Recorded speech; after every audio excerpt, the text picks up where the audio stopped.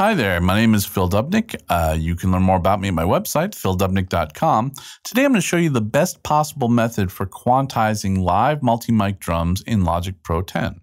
Now, Logic Pro has Flex Audio, and Flex Audio has an algorithm called the slicing algorithm, which is intended for use on multi mic'd drums, but it's got a bit of a design flaw in that you can't really go back after the fact and tweak any of the edit points. All the crossfades, all the overlapping regions, all the, you know, all that stuff is hidden behind the graphic user interface. So all you see is the normal sort of wave files uh, as a whole, like one whole region uh, after you've quantized the performance. And while that might look a bit better, unfortunately, that just won't do for anyone who is editing drums because.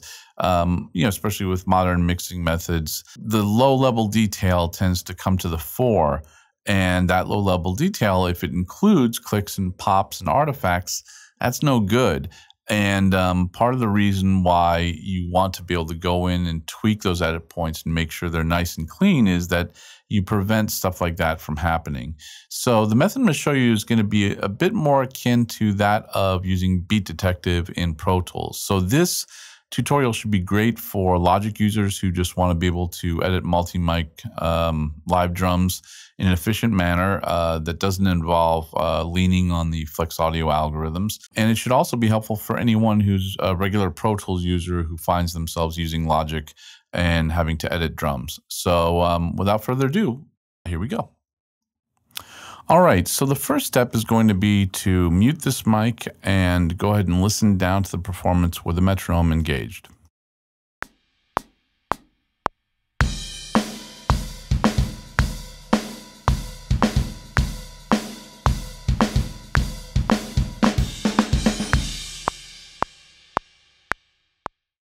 Now, truth be told, it's it's not that awful of a performance, and in fact, you know, it's a little bit shaky over here, but not bad at all, really. Uh, but regardless, we're going to quantize this performance because that is what the tutorial is about. So the first step we're going to do is we're going to choose which tracks we're going to use as a point of reference as far as where the audio is going to be sliced. So I'm going to start with the kick in because that's my one of my key elements. And when I double click that, it opens up the track window. Some of this, by the way, is going to have already been covered in another tutorial I already have posted on pocketing guitars and basses without using Flex Audio. So a bit of this, if uh, you don't see it covered here, you can go there to uh, check it out. Uh, it's a previous video on the same YouTube channel. Okay, so we've got this open. We're going to switch view to bars and beats. All right, and then we are going to maybe zoom out a bit and we're going to click here and you'll notice that all these are being added, these uh, transient markers, where you want to probably go back through and double check them. Um, so we're going to zoom into the highest level and then that will bring us by um, hitting Alt left and right. We can navigate to each transient marker and you can see they're a little bit off. Uh, you know, like some of them late, this one's a little early.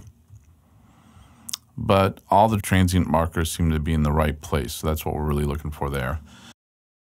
And then we're going to do the same thing with this top snare mic. Um, we're going to click this button right here, which adds the transients. Uh, then we are going to zoom out so we can actually see. And it looks like it might have gotten all of them. But we're going to look in detail just to make sure that it's right on the money. And it looks like it is actually. So we don't really have to do much there. If you would like more information on how to uh, edit or add transient markers if they pop up incorrectly in your experience, um, go to the other um, tutorial on guitar and bass pocketing. I go over that more in depth there. But thankfully we didn't have to do a lot there. So uh, we're done with that part of it. We're going to go to the mix window for a second. We're going to select all the tracks and we're going to go to group one and we're going to open group settings and select editing And I've just had the experience that um, for some reason, this little cue reference button, which basically helps us determine which tracks are going to be the guides for the edits, um, I've had the experience that doesn't always work perfectly unless I hit record uh, in the group settings. I don't know why that is, but it's been the case. So I'm just going to go ahead and do that. And I'm going to hit, uh, I'm going to call it drums. Okay, so now we've got the grouping together. And now I'm going to close the mix window for a second, and I'm going to go through and deselect anything that I don't want to use as a reference in terms of where the audio is sliced. So I've deselected everything but the kick in and the snare top mic because obviously the kick in is going to be like the beater. It's going to be hit first between the kick in and kick out. And the top snare mic is, is going to be, you know, um, should be the same. Hopefully, um, you want to have an equal distance of your snare, top mic, and bottom mic from the drum. Uh, but it's generally going to be at least first or uh, exactly the same, hopefully. All right, so those are the points of reference, and that's what this little cue reference button is for. So we've got that all set. Now, I know we said we aren't using uh, Flex Audio, and we're not actually, but this is, unfortunately, you have to do this as part of the process. Otherwise, it doesn't actually function correctly. Um, you have to hit Flex Audio to engage it. I would go ahead, just as a precautionary measure, go for the slicing method. Now, you're not actually doing anything with this. So it's it, I'm doing that purely as a sort of OCD precautionary measure in terms of choosing what would be the appropriate algorithm if I were to be um, quantizing audio using the Flex Audio feature, but I'm not actually using that feature. I just uh, am setting it up to where it would be the least problematic version of Flex Audio if I did that.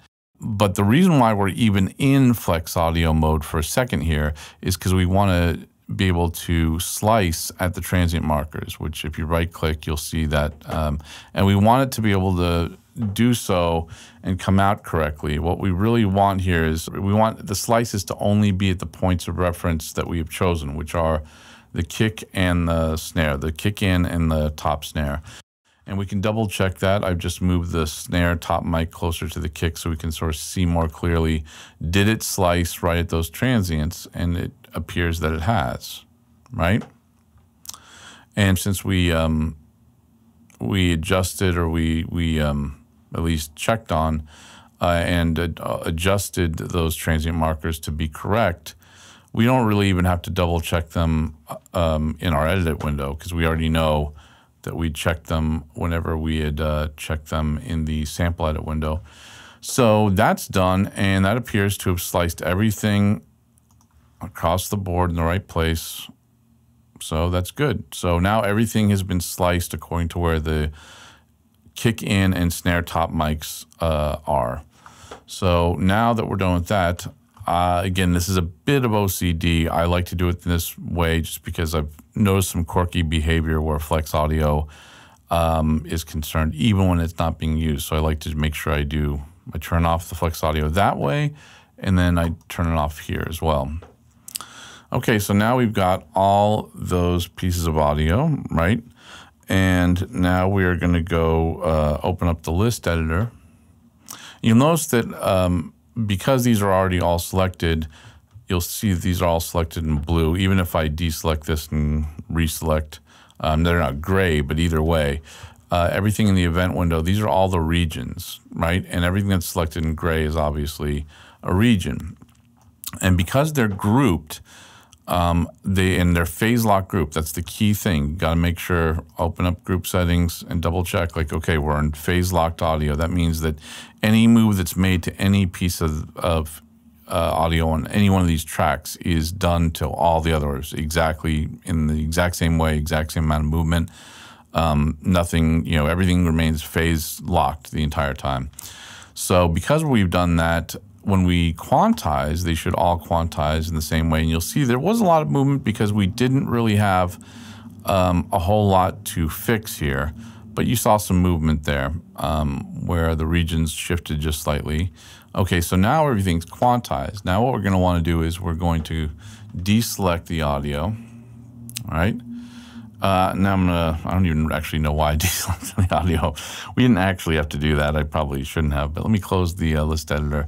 Now I'm gonna reselect all the audio. But what I do wanna deselect here is the last piece of audio. And here's what I'm gonna do. This is the little trick here. Um, I'm gonna take each of these. I'm gonna make sure I'm out of smart and if I can, out of all this. And I also wanna make sure, I should have done this before, but make sure it's snapped to absolute value. Uh, um, but anyways, I'm I'm getting out of uh, I can either turn off snap altogether or just make it snap to samples. But I do want to make sure that it's not smart, that it's not bar, that it's not beat, it's not you know all those things. Now I've got all these regions selected. What I'm going to do is I'm just going to move it slightly over to just create a little daylight between each of those regions, right? Not a lot, just a, just a little bit. And there's a reason I'm doing this. In Beat Detective, you have what's called trigger pad. Trigger pad um, basically makes it so the transient is identified at the right point, but the beginning of the region is uh, there's a buffer that's created. So um, that whenever you move anything, there's a little bit um, of region before the actual transient. So it makes um, the subsequent filling of gaps and crossfades, um, it avoids having those adjacent um, audio regions create unintended flamming. Um, so we don't have that feature in Logic, but by doing what we did just then, what we can now do is this. If I select all the pieces of audio, there's a shortcut. If you uh, if you want to pull it up, you have Alt key here, and there's a um, let's see, we can find it here. Right there. Trim region start to previous region. Now this is not a pre-assigned um, shortcut. I actually had to, or key command, I, I actually had to assign it. So I assigned it to F14. You can assign it to whatever you want. But you want that shortcut because now what's going to happen, because we created daylight between those regions, now all we have to do is we hit uh, F14 and now it's dragging the beginning of the regions to the end of the previous regions. And because we created that daylight, it does, it has a similar effect to that trigger pad. So um, let me just find something real quick. Uh, so Want to look here. All these are going to be, you know, they're going to have a little bit more space between uh, before the transient. Uh, you know, there's some spots where it could use a little help, but I wouldn't worry about that right now because of what we're about to do. So everything is pretty well set. Let's listen to it right now before we do any crossfades.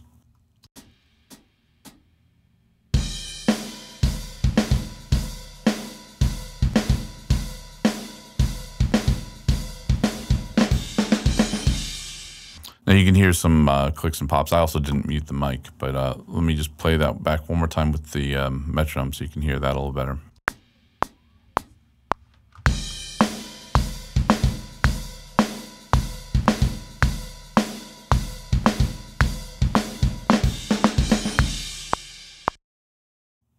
So the clicks, by the way, uh, that, that, you're hearing are actually not the um, those are due to the fact that we haven't crossfaded anything yet. So there's some edit points that are not clean. And those would get, um, those clicks or pops would get louder if we were to apply compression in, in the process of mixing in general, like those little low level sounds. That's one of the key reasons you want why you want some flexibility in terms of fixing things. So uh, we've got everything uh, region-wise where we want it. it. The performance is quantized, but now we have to clean it up a little bit. So the first thing we're going to do now that we've got this where we want it is we're going to select everything but this last thing. The easiest way to do that actually would be uh, Command A and then just deselect the last one. And then over here, if we open that up, we can choose equal power crossfades. It's very important to uh, use equal power crossfades whenever dealing with drums because uh, equal gain crossfades would sort of degrade the cymbals uh, in the case of sort of um, writing a crash cymbal or the open hi-hats in a sort of a not pleasant way. You can hear a car passing there. I apologize for that. Um, anyhow, so now we've got that. I'm only going to make about, let's make it like a five in terms of the crossfades seem actually unusually big. Um, but okay, maybe that's just a graphic thing. All right, so everything is crossfaded. Uh, now we're going to take one more step. We're going to, I have this in overlap right now. You can do this in non-overlap uh, at the beginning if that helps you sort of get a good gauge of where everything is. But what I'm going to do now is I'm going to take the beginning of any one of these regions, aside from the very first one, I'm going to pull it back just slightly. Again, making sure I'm not in Snap, making sure that if I am in Snap, I'm in samples, uh, just so it doesn't snap too far. And pull it back a little bit. So now there's some overlap. And now it's going to say this region contains inactive flex markers, which will be deleted if you perform the edit. Because again, we're not using flex audio. This doesn't matter. I mean, it's not going to change anything for us. So uh, there we have that. Now let's take a listen. Now what that should have done by dragging that corner of the region over is number one, it makes sure that there's some overlap between the adjacent pieces of audio, but not too much. And also it moves the beginning of each region a little bit further away from the subsequent transient. So now we're going to listen.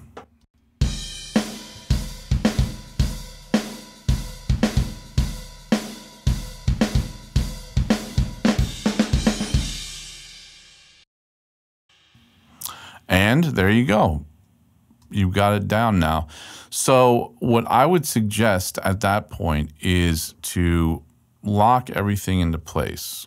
Um, the reason I wouldn't necessarily, you could join all the regions by, um, let me turn those back off now. You could join them by just hitting J, and J would, um, by joining them, or what used to be called merging all the regions, it would create contiguous uh, regions per track. So it would make it basically into one solid region for my room mics, my overheads. You know, like each of them would just it would just become one performance again.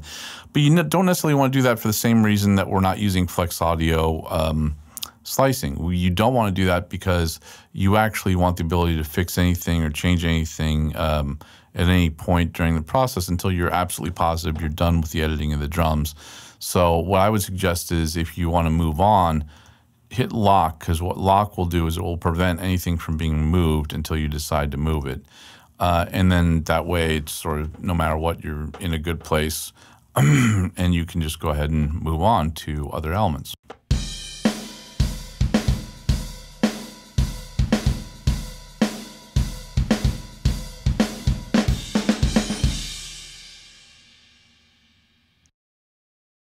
Anyhow, I hope you found this helpful. Be sure and visit me at phildubnick.com. That's P H I L D U B N I C K.com.